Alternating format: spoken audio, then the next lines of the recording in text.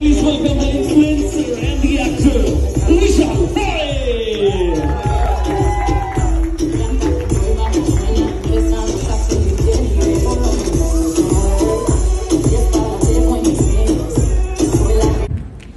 खर तर राहुल एक खरंच चांगला माणूस म्हणजे बोलायचं म्हणून बोलतो हो.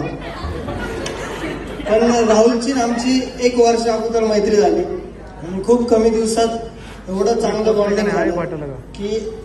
आमचं पण नशीब आहे की आमच्या जिगर मराठीच्या पहिल्या गाण्यात राहुल रेड्डीने काम केलंय म्हणून आमचं गाणं हिट गेलेलं अशी हे पण बोलायचं म्हणून बोलतोय